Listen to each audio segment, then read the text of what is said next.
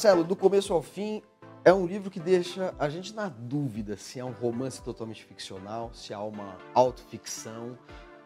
Enfim, você joga um pouco com esses elementos autobiográficos e ao mesmo tempo inventa, recria e de certa maneira ironiza, vamos dizer, a moda da autoficção, né?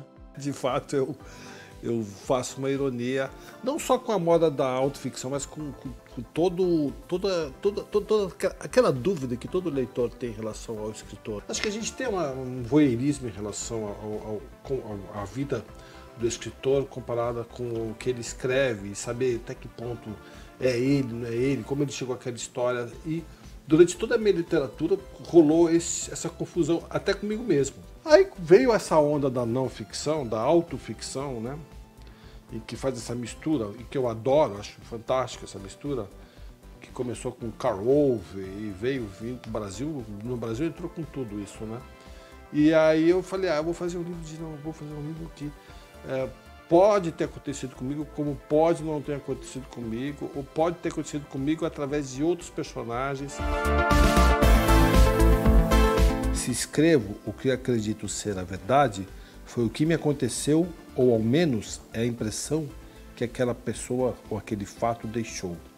É real para mim, pode ser completamente irreal para outro, que presenciou o mesmo instante. Cada um vê e recorda a sua maneira, e o tempo modifica as versões.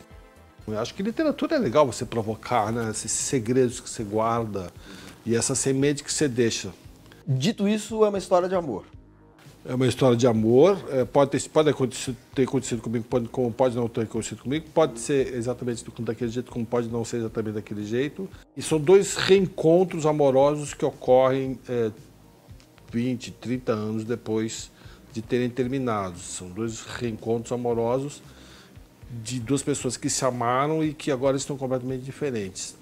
E aí eu pensei nessa ideia e aí eu investi nessa história de como é um, um namoro, um amor de 18, 19 anos na década de 80 e como seria esse namoro e uh, amor hoje com um homem totalmente em crise com o papel da masculinidade, com a toxicidade do mundo paternalista, patriarcal, né, da qual a minha geração e a maioria dos homens fez parte.